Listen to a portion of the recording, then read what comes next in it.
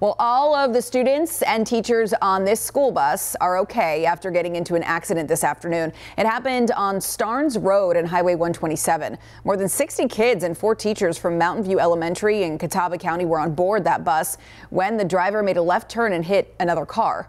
Medics are evaluating students as a precaution. The driver of that bus was cited.